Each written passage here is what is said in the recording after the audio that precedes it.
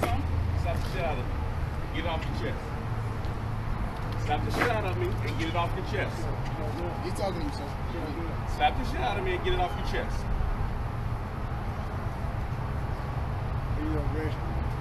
No, I'm giving you permission to slap the shit out of me, get it off your chest, and see what happens.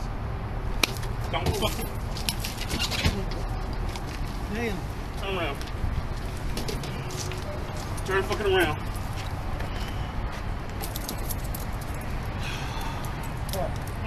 Get know, That was stupid.